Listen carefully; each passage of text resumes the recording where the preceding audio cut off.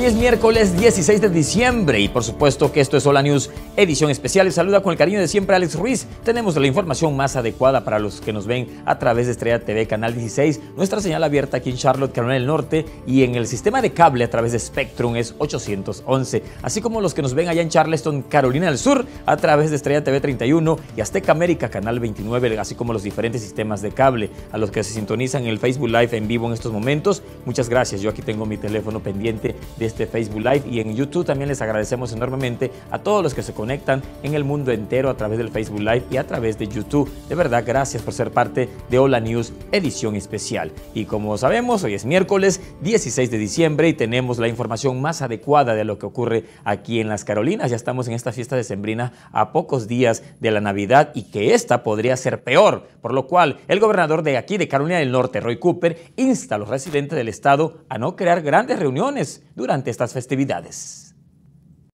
Con poco más de una semana hasta que se celebre la Navidad, las hospitalizaciones por COVID en Carolina del Norte continúan aumentando. El Estado informó esta semana que 2.735 personas se encuentran en el hospital y más de 600 personas se encuentran actualmente en cuidados intensivos. La secretaria del Departamento de Salud y Servicios Humanos, la doctora Mandy Cohen, dijo que las hospitalizaciones y los nuevos casos de coronavirus se han más que duplicado desde antes del Día de Acción de Gracias. Si bien el gobernador de Carolina del Norte, Roy Cooper y Cohen proporcionaron una actualización sobre la última métrica COVID-19. Instaron a los residentes de Carolina del Norte a quedarse en casa y evitar reunirse en grandes grupos durante las vacaciones. A medida que nos acercamos a las fiestas navideñas, tenemos una difícil solicitud de gente en Carolina del Norte, dijo Cohen. Los CDC recomiendan que las personas no viajen y se queden en casa en esta temporada navideña. Una vacuna producida por Pfizer se envió a las instalaciones de atención médica de Carolina del Norte el lunes por la mañana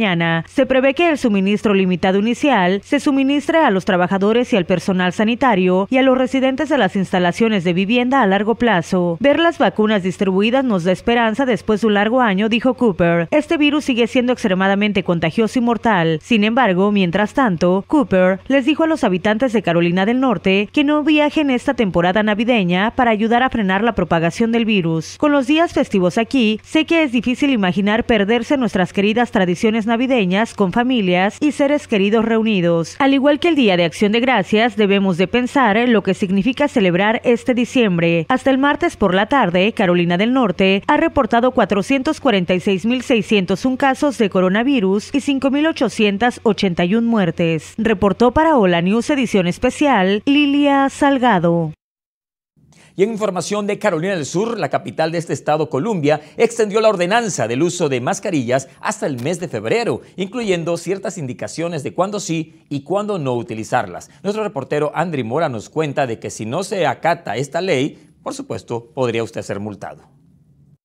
El Ayuntamiento de Columbia aprobó otra extensión de la ordenanza del uso de máscaras en la ciudad que llevará el mandato hasta febrero. El Consejo aprobó la medida el martes pasado en una reunión. La extensión duraría hasta el 13 de febrero de 2021. El mes pasado, el Consejo también aumentó las multas de 25 a 100 dólares por persona. Además, el Consejo permitió que las empresas estuvieran bien por visita al Departamento de Bomberos. Eso significa que si un inspector ve a los empleados sin máscara un día y regresa al día siguiente y ve otra infracción, podrían multar. El mandato de la máscara entró en vigor por primera vez el 26 de junio en Columbia. La ciudad fue la segunda en Carolina del Sur después de Charleston en promulgar dicha regla. El primer mandato se prorrogó en octubre. Según la ordenanza, toda persona mayor de 10 años debe usar máscara en las siguientes situaciones. Dentro de un edificio abierto al público, interactuar con otras personas en espacios al aire libre, incluidos entre otros servicios de recogida, entrega y llamados de servicios al participar en actividades comerciales en espacios privados, utilizar transporte público o privado o caminar en público donde no es posible mantener una distancia de 6 pies entre otros miembros del público en todo momento, no se requiere cubiertas faciales en las siguientes circunstancias. En vehículos personales, cuando una persona está sola en espacios cerrados durante la actividad física al aire libre, siempre que la persona activa se mantenga a un mínimo de seis pies de otras personas en todo momento. Cuando una persona está sola o solo con miembros del hogar, mientras bebe, come o fuma. Cuando el uso de una cubierta facial provoca o agrava un problema de salud. Desde Columbia, Carolina del Sur, para Hola News, edición especial, reportó Andri Mora. Y bueno, ahora regresando aquí a Carolina del Norte, ponga usted mucha atención, hospitales de este estado siguen recibiendo los primeros lotes de la vacuna contra el COVID-19. Nuestro reportero Galo nos cuenta cómo se espera que a la mitad del próximo año sea recibida por la mayoría de los residentes de este estado. Dos días después de la llegada de las vacunas contra el coronavirus a Charlotte, los líderes de los hospitales dicen que Carolina del Norte podría haber una inmunización generalizada a principios de 2021. El Departamento de Salud y Servicios Humanos del Estado ha publicado un plan de vacunación que describe cuatro fases de priorización de vacunas, con los trabajadores de atención médica de primera línea en primer lugar, seguido por el resto del personal médico y los residentes de centros de atención a largo plazo. Para el doctor David Priest, experto en enfermedades infecciosas no Evangel, el público en general puede recibir vacunas en el primer o segundo trimestre de 2021. Durante la última semana, el número promedio de casos nuevos reportados en el condado de Mecklenburg es más de 620, según el Departamento de Salud. Un aumento significativo en comparación con el pico anterior observado en julio en Carolina del Norte y a finales de noviembre, cuando el número promedio de casos nuevos por día era menos de 400. Mientras tanto, los médicos de Atrium Health y Novan Health han advertido que las hospitalizaciones continúan aumentando. El número de personas hospitalizadas cada día en el condado de Mecklenburg ha aumentado constantemente desde octubre. A fines de noviembre, el número promedio de pacientes con COVID-19 en el hospital superó el punto visto anteriormente en julio. Mecklenburg ha experimentado un aumento en los niveles de coronavirus desde el Día de Acción de Gracias y podría haber otro pico durante las vacaciones de diciembre, indicaron. Y aunque las vacunas están comenzando a llegar, las mismas no podrán prevenir un pico durante las próximas festividades. Novangel espera recibir las vacunas de COVID-19 este jueves y tiene la aprobación para distribuir las vacunas en tres lugares, incluido uno en Charlotte, en Novan Health Presbyterian Medical Center, así como en sus Novan ubicaciones en Winston-Salem y en el condado de Brunswick. Galo Beir, Hola News, edición especial. Y bueno, hablando del mismo tema, mientras tanto en Carolina del Sur se acaban de recibir las primeras dosis de vacuna contra el coronavirus. Nuestro reportero Andri Mora nos reporta que las autoridades de este estado están implementando el programa de vacunación en la primera fase al personal médico de mayor riesgo. Está en vivo en estos momentos desde Carolina del Sur nuestro compañero Andri Mora. Andri, adelante con la información. ¿Qué tal? Nuevamente saludándote. Prisma Health recibió 9.750 dosis de la vacuna Pfizer el pasado martes por la mañana, según un portavoz del hospital, quien además informó que la vacunación de los empleados de este centro de salud comenzó alrededor del mediodía de ayer mismo y que hasta hoy miércoles ya han sido vacunados un importante número del personal. Esas dosis se dividirán entre Prisma Health Richland Hospital y Prisma Health of State, que servirán como los principales lugares de vacunación para el sistema de salud. El doctor Eric Osman señaló en una mesa redonda con el vicepresidente Mike Pence el pasado jueves que Prisma ya identificó a los empleados con mayor riesgo, quienes serán los primeros en la fila para recibir la vacuna. El doctor Osman también le dijo al vicepresidente Pence que el sistema de salud estaría listo para colocar la inyección en los brazos de las personas tan pronto como llegaran las vacunas a Carolina del Sur. Se espera que las autoridades de salud revelen más detalles en cuanto a la implementación del programa en fases ya establecido para que estas vacunas lleguen a la población en general. Desde Columbia, Carolina del Sur, para Hola News, edición especial, reportó Andri Mora. Muchas gracias, mi querido Andre, por la información. Asimismo, aquí en Carolina del Norte continúa el proceso de la administración de la vacuna contra el COVID-19. Vamos ahora con nuestro compañero Galo Ver, quien nos presentará, por supuesto, una nota interesante sobre esto y le estamos dando el espacio para que nos dé la información adecuada. Mi querido Galo, ¿cómo estás? Adelante. Muchas gracias, Alex. Es un placer estar contigo en este noticiero. Bueno, el día lunes fue un día histórico para los Estados Unidos porque ya se comenzaron a recibir y a suministrar las primeras dosis de vacuna contra el COVID-19. Y en Carolina del Norte no ha sido la excepción. En este estado también ya se comenzaron a suministrar las primeras dosis y hay dos hispanas que están dentro de lo que es el área de salud que ya la recibieron y son buenas noticias. Por ello tenemos en entrevista en estos momentos en vivo a la doctora Viviana Martínez eh, Bianchi y también a la doctora Gabriela Maradiaga, quienes son parte del Hospital Duke en la ciudad de Durham, Carolina del Norte, porque han sido las primeras en recibir la vacuna contra el COVID-19. La saludamos, eh, doctora Viviana. Primero empiezo con usted. ¿Cómo ha sido este momento histórico eh, al recibir la vacuna del COVID-19? Es un momento muy, pero muy importante, Galo, que tengamos esta vacuna, que, que nos dé una, una, luz en este, en este tiempo de, de oscuridad y de, y de que nos dé esperanza en un momento de tanta, de tanta dificultad para la comunidad latina, en particular en Carolina del Norte. Doctora Viviana, tal y cual habían manifestado las autoridades de salud, los trabajadores de primera línea, en este caso los que están dentro de los hospitales, iban a recibir las primeras dosis de la vacuna. En este caso, ¿usted cómo se siente al haber sido ya una de las primeras latinas, en este caso acá en Carolina del Norte, de haber recibido esta dosis? Dentro de todo este grupo 1A, que somos todos los que estamos clínicos viendo pacientes, eh, que, que fuéramos parte del grupo inicial que se ha vacunado, este, en gran parte para comunicar a la población latina de Carolina del Norte, pero también de todo el estado, de la importancia de vacunarse, de la importancia de eh, prestar la atención a la ciencia, a lo que se ha contribuido en esta este, vacuna tan histórica. Doctora Gabriela, ahora paso con usted.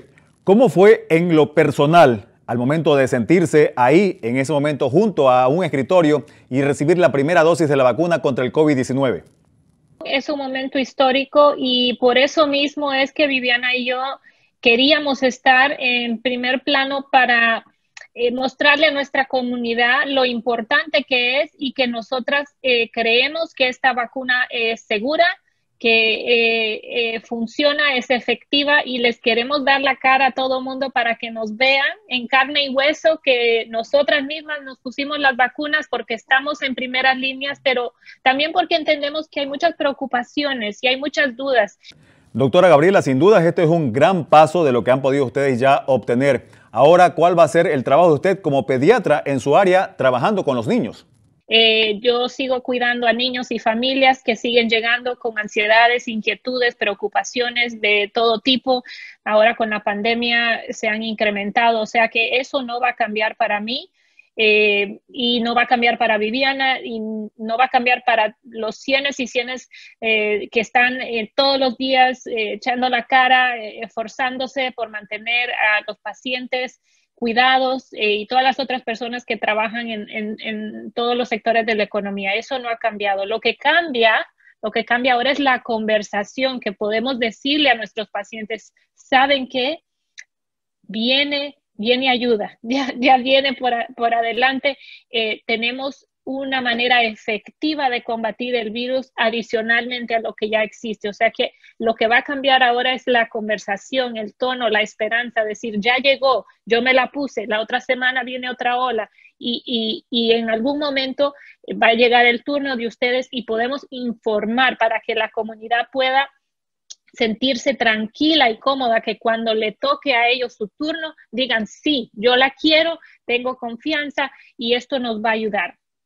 Bueno, es un placer haber conversado con ustedes. Muchas gracias a la doctora Viviana Martínez Bianchi y también a la doctora Gabriela Maradiaga del Hospital de Duke en la ciudad de Durham, Carolina del Norte, por esta entrevista que sin duda es muy importante conocer que han sido las primeras hispanas en Carolina del Norte en obtener la vacuna contra el COVID-19. Buenas noticias, Alex. Y bueno, a seguir entonces la vida y a esperar a que nos toque a nosotros. Así es, mi querido Galo, de verdad que me da mucho gusto esta noticia, ya que la hemos esperado por muchísimo tiempo. Yo también ya, en cuanto se pueda, yo quiero mi vacuna para así ya estar ya, pues, feliz. Y ya estoy feliz porque ya existe, ya es una realidad, ya está con nosotros la vacuna, gracias a Dios. Vamos a una pausa, regresamos aquí en Hola News, edición especial.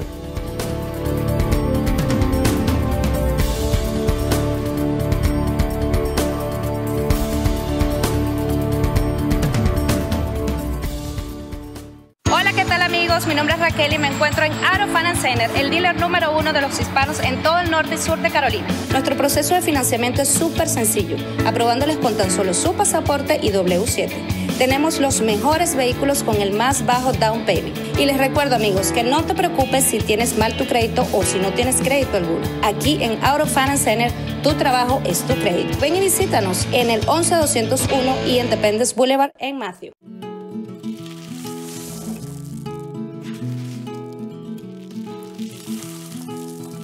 Los niños pueden pasar 8 minutos decorando a su hermano pequeño.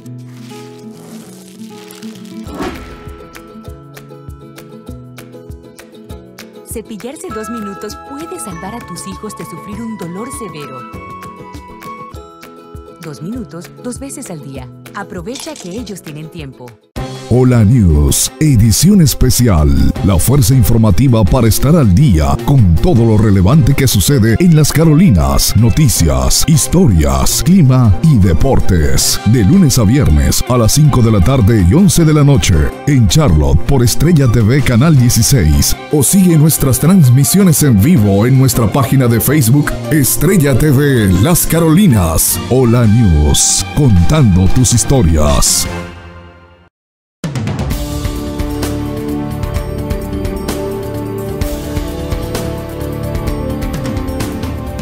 Y bueno, ya de vuelta, aquí estoy leyendo los comentarios, por supuesto, de la felicidad que tiene mucha gente de que ya la vacuna está con nosotros y esperando de que con esto pues sea el inicio de la paz en el mundo con esto del coronavirus. Vamos a continuar con más información, hablando precisamente de cancelaciones y de todas las situaciones que nos ha traído el coronavirus. Las escuelas emiten retrasos y cancelaciones en espera de la conocida mezcla invernal. De esto nos habla Lilia Salgado. Las escuelas están pidiendo cancelaciones y retrasos esta semana, ya que se espera una mezcla invernal en el área. El equipo de primera alerta dice que Fort Hills esperaba lluvia helada o algo de agua-nieve durante gran parte de la mañana del día de hoy. Por ahora parece que Fort Hills puede esperar alrededor de 10 pulgadas de lluvia helada y causaría hielo ligero en árboles y parabrisas. Los puentes y pasos elevados serán las superficies de las carreteras más probablemente afectadas. Las estribaciones del norte podrían recibir hasta 0.5 de lluvia helada. Si se mezcla más agua-nieve, esos totales serían más bajos y habría una ligera acumulación de sueño. Las montañas recibirían una mezcla invernal de nieve, agua-nieve y lluvia helada. Las acumulaciones de lluvia helada serían .25 o menos con una pulgada o dos de agua-nieve o nieve. Charlotte y sus áreas sur recibirán una lluvia fría esta vez. Aquí hay una lista de los retrasos y cierres escolares actuales. Condado de Caldwell, no hay clases para estudiantes, día de planificación opcional para el personal. Condado de Lincoln, retraso de tres horas para los estudiantes, personal de retraso de dos horas. Escuela de Ardiel, Stesville, retraso de dos horas por los estudiantes y el personal. Escuelas de la ciudad de Newton, Conover, aprendizaje virtual. Condado de Will, cerrado. Reportó para Hola News edición especial, Lilia Salgado.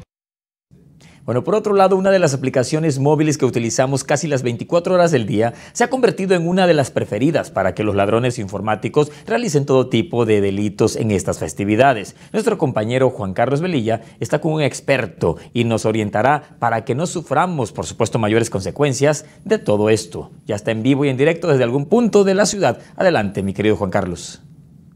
Compañeros y televidentes del noticiero Hola News. Hace varios días se han venido presentando una serie de hackeos a la aplicación del WhatsApp a muchas personas. Por eso hemos venido donde Alex García, asesor tecnológico, un experto en todos estos temas, quien nos va a contar qué debemos hacer si nos damos cuenta que nos están hackeando nuestro WhatsApp. Bueno, lo primero que debemos hacer es saber si nos están hackeando nuestra aplicación es porque estamos recibiendo información de familia, de amigos que nos está diciendo que han recibido mensajes inusuales a través de nuestra cuenta de WhatsApp. Estos mensajes inusuales por lo general siempre incluyen que hagamos clic en links que nos llevan a páginas externas o están recibiendo alguna forma de requisición de transferencias de dinero o de depósitos. Bueno, si vemos que esto nos está sucediendo, ¿cuáles son las mejores recomendaciones que usted nos puede brindar? Bueno, la mejor, la mejor que debes de hacer es borrar la aplicación. Después volver a reinstalar la aplicación y instalarla únicamente con el código que te manda WhatsApp, un código de 5 dígitos. Qué buenas recomendaciones ahí tienen ustedes televidentes para que las pongan en práctica si les llega a suceder esta situación. Gracias a Alex García, asesor tecnológico, por estar en el noticiero Hola News. Ustedes, compañeros, sigan en estudio.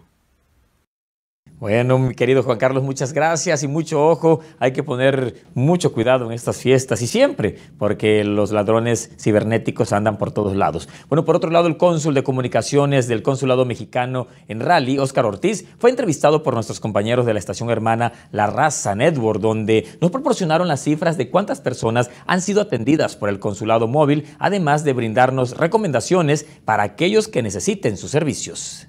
Claro, ya nos encontramos súper contentos, muy emocionados en el Consulado Móvil de México y por supuesto ya me encuentro con el cónsul Oscar Solís. ¿Cómo está corazón? Muy buenas Muchas tardes. Gracias, muy buenas tardes. 1.200 citas son las que se expidieron estas tres semanas de trabajo en Charlotte. Estamos muy reconocidos con los empresarios que nos dieron la oportunidad de hacer este, dar este servicio a la comunidad en estas zonas, en estas, en estas locaciones. ¿no? Eh, de los mensajes que me parecería interesante que tengan presentes es cuando ustedes hacen la cita a través de Mexitel, no se hace en el consulado. En el consulado nadie está contestando llamadas. Estamos trabajando para la comunidad, pero no contestamos el teléfono. Se hace en un call center y ellos son los que están encargados de hacer las citas y de ordenarlas.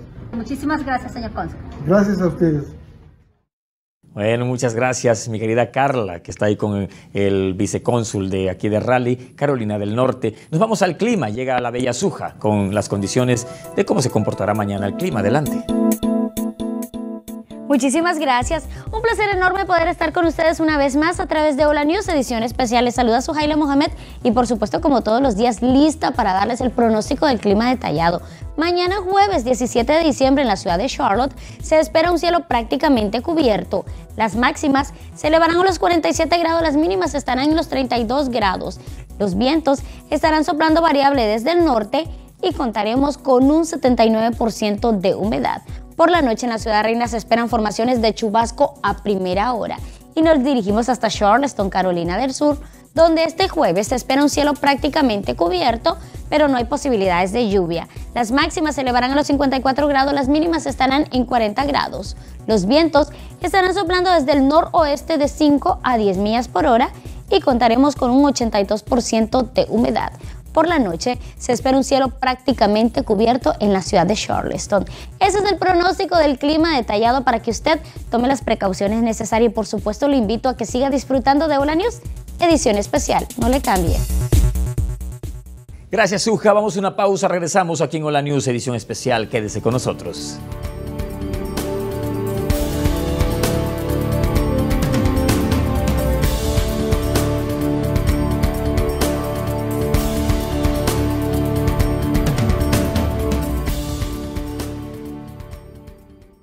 Supermercado El Rey, el rey de los precios bajos. Tiene para ti lo mejor en abarrotes mexicanos, centroamericanos y sudamericanos. En nuestra carnicería encuentras los mejores cortes. Además, contamos con servicio de envíos de dinero, pagos de biles, recargas nacionales e internacionales. Estamos abiertos todos los días. Visítanos en el 6300 South Boulevard en Charlotte, 704-557-3980. Supermercado El Rey, el rey de los precios bajos.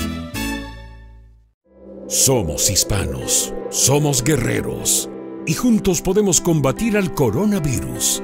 Cada uno tiene que hacer su parte, cada uno tiene que aportar su granito de arena para crear la montaña que lo detenga.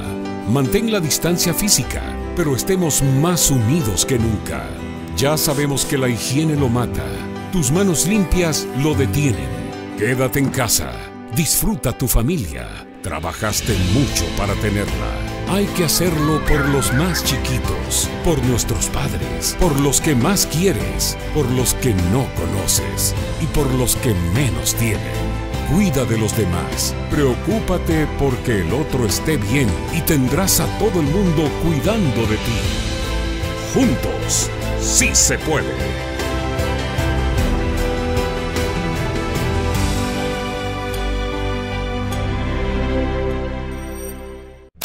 Disfruta de la buena música.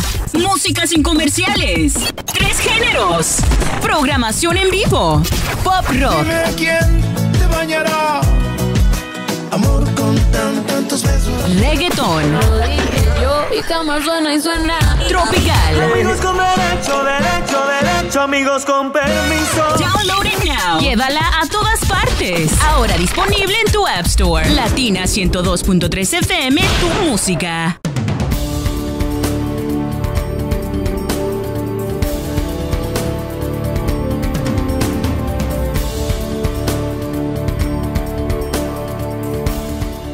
Vuelta aquí en Hola News, edición especial, ha llegado el momento de darle el cambio al Capitán Gato con la historia detrás de la historia de los deportes. Adelante, Capitán.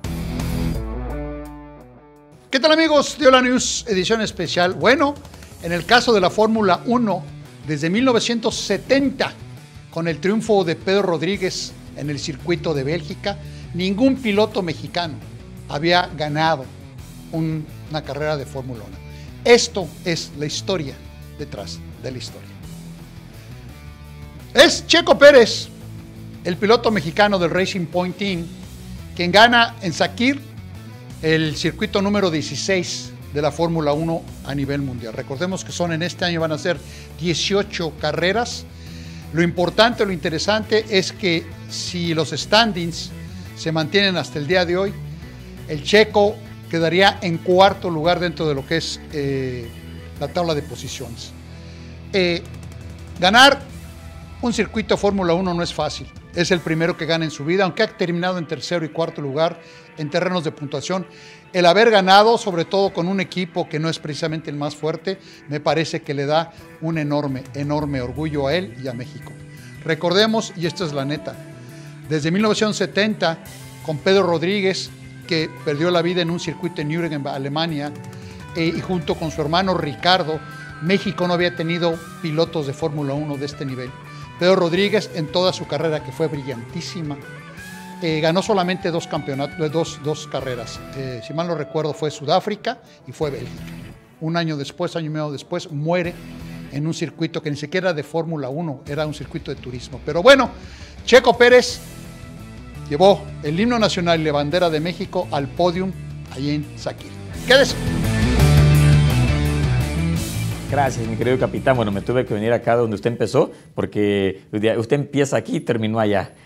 Saludos, de verdad que queremos mucho al capitán Gato porque sabe y además conoce. Pero bueno, nosotros continuamos con más información aquí en Hola News, edición especial, ya que estamos en estas fiestas decembrinas y por supuesto es la época más mágica del año. Es cuando el departamento de la policía de aquí de Charlotte Mecklenburg puede poner una sonrisa, ah, por supuesto en las caras de miles de niños para esta Navidad. Sujaila nos tiene la información. Estuvimos en el taller de Santa recientemente, donde todos los elfos nos mostraron las nuevas bicicletas que fueron donadas por Spooks y Frank Cooperman, con Red Max Performs y Steel Creek. Red Max donó 12 mil dólares en bicicletas a niños necesitados este año. Todavía no es demasiado tarde para donar. CMPD incluso puede hacer las compras por usted. Done dinero directamente a los exploradores de CMPD en su aplicación Bedmon. Para Hola News Edición Especial reportó Suhaila Mohamed. Qué bonita es la Navidad, la despedida del año. Esta época es una de las más maravillosas, como dije al inicio, una época muy mágica. Pero bueno, con la pandemia tenemos que tener las debidas precauciones. De esta manera despedimos el noticiero. Tenemos una cita mañana aquí en Hola News edición especial. Soy Alex Ruiz. Gracias por estar con nosotros en el Facebook Live, en YouTube o a través de la señal abierta o en cable. Gracias en nombre de todo el equipo de Norsa Media. Una vez más, muy agradecido, muy agradecido y muy agradecido.